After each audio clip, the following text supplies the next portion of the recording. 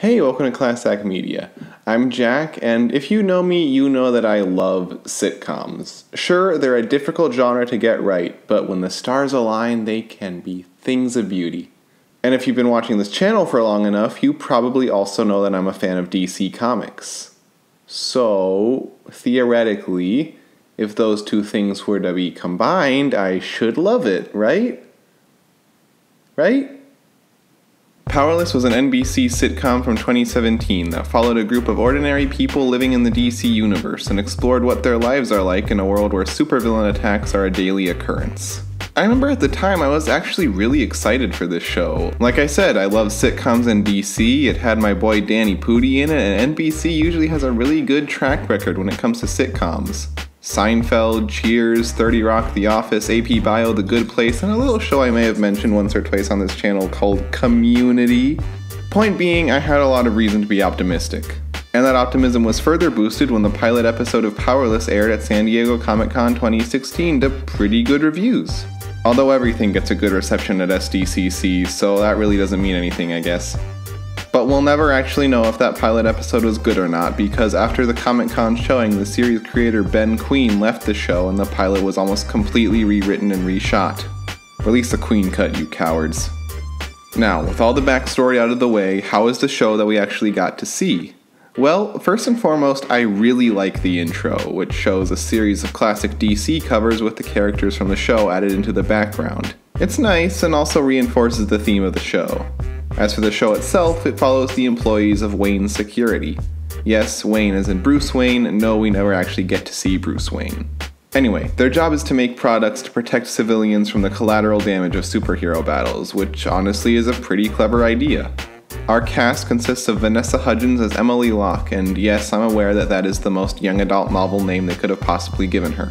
She's your standard wide eyed innocent moving to the big city with big dreams and aspirations. She's not the most interesting character, but hey, at least Vanessa Hudgens is a good enough actor.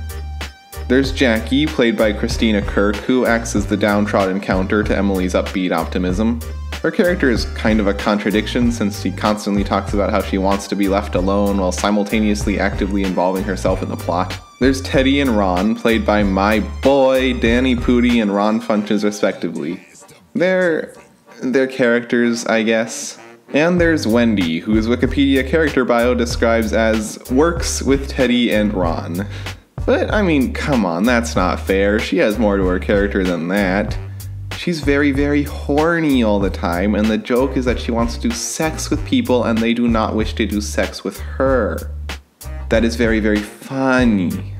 And then, last but not least, we have my absolute favorite character by a long shot Alan Tudyk as Van Wayne, Bruce Wayne's cousin and the office's boss. Alan Tudyk is such a naturally funny guy that he got the vast majority of laughs from me when I watched the show.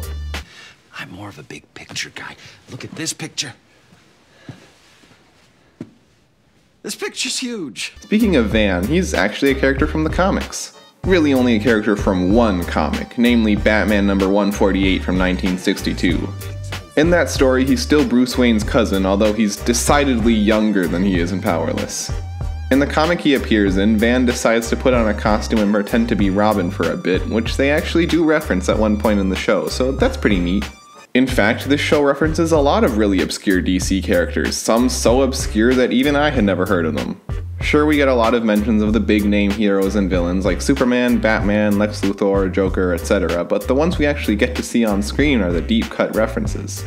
Heroes like Crimson Fox and the Olympian, and villains like Jack o' Lantern, Sawtroll the Sea Troll, and Prince Evillo. Probably the most high profile character we get to see on screen is the hero Fire, who for some reason they confusingly refer to as Green Fury? I don't know why they chose to do that. I mean, I know that years ago in the comics she was called Green Fury, but these days she's pretty definitively called Fire. Are the rights to Fire so hotly ha, contested that they had to change her name for the show? All this brings me to my next point, which is that, well, yes, it is cool to see these completely unknown characters get the spotlight, they're not very comic accurate. For example, Prince Evillo in the comics is an enemy of the Legion of Superheroes and only exists in the 30th century. In Powerless, he's just a villain sitting in prison during modern day. He really could be anyone. Same thing with Crimson Fox. In the comics, she's a duo of French sisters who swap out the Crimson Fox identity between each other. In the show, she's just a generic superhero. Now, I know, adaptations are allowed to make changes, but these are such boring changes. They turn these characters into standard superhero and supervillain stereotypes. If this show is meant to appeal to hardcore DC fans, why not actually preserve what makes these characters interesting? If not for the DC branding, this would be indistinguishable from any other generic superhero world. It kind of feels like the writers just flipped through the DC encyclopedia and picked some characters at random to use.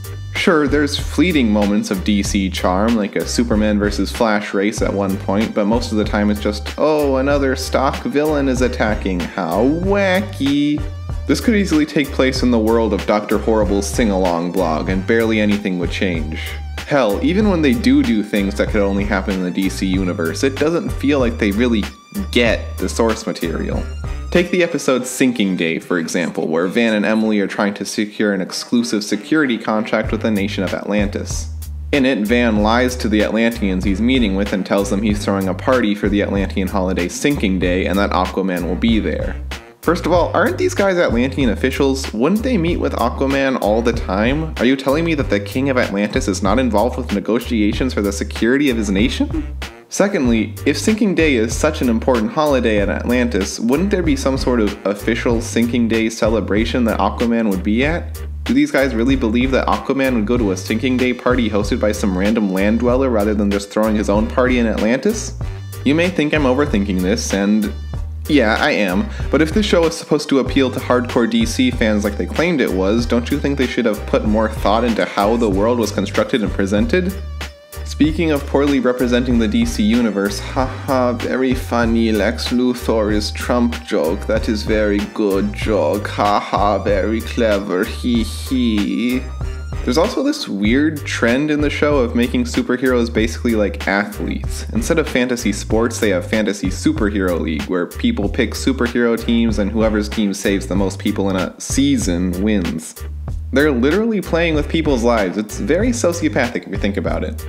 Not to mention this game themed around various DC supervillains. Like, these are real terrorists in this world, and you're just gonna slap their images onto a toy for children? Isn't that like if we had ISIS Monopoly? And if you think Powerless presents the DC universe poorly, well, it doesn't present the rest of itself much better either. For a show that wanted to show the lives of ordinary people in a world of superheroes, it sure doesn't show much of their lives.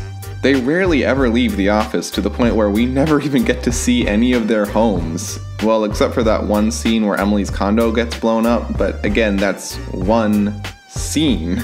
This gets built up to an almost ridiculous degree in the episode No Consequences Day, where Lois Lane dies and everyone realizes they get to do whatever they want with no consequences until Superman turns back time to save her. But even when given the opportunity to do whatever they want for a day, most of them don't even leave work. Ron even goes to the pet store, buys a bunch of puppies, and then takes them back to the office. Why not take them home? I get that sitcoms are normally made on tight budgets and thus are required to limit themselves to one or two main sets. Seinfeld had Jerry's apartment in the diner, Friends had Monica's apartment in Central Perk, you get it. But of all the locations they could have chosen for this show, can you think of any more boring than this Disney Channel original movie looking office and the street corner directly outside that office? The production design is one thing, but Powerless also even gets lazy about its own messages from time to time. Take the episode Green Furious, for example. Emily manages to convince Green Fury to star in a commercial for Wayne Security Ponchos. But uh oh, the Wayne executives has changed the ad to be more sexy. Will Emily allow her vision to be compromised as well as publicly demean Green Fury just so she can move ahead in the corporate world? Or will she stick to her principles and tell Green Fury not to do the ad, tanking her own chances of advancing her career? Well, it turns out there was actually no dilemma. Emily just gets another superhero, the Olympian, to do the sexy ad instead of Green Fury. And the executives are cool with it. See, I thought that this episode is trying to say that the corporate world doesn't care about women except for sex appeal, but as it turns out, they were just very, very horny and didn't care about the gender of the person they were horny for. Hooray? I don't know what point this episode was trying to make, and honestly, I don't think the writers did either. Powerless can't even keep the premise of the entire show consistent. I thought it was supposed to be about normal people living day to day lives in a superhero world, but in the episode Win, Luthor, Draw, the gang ends up saving the world from an alien invasion and Jackie gets super speed powers. Okay, that's really all the points I wanted to make about Powerless, but I don't know how to end the videos, so. Look at how awful this Batarang design looks. Okay, I know I dunked on it a lot throughout this video, but Powerless wasn't an awful show. I actually did find myself laughing at a good amount of the jokes, especially considering the sense of humor got darker as the season went on. But uh, I can't end this video on a positive note. Too curmudgeonly for that. So instead, enjoy the worst joke from Powerless. What the hell is this? You've been memed. Oh, fuck you. See you next time, guys.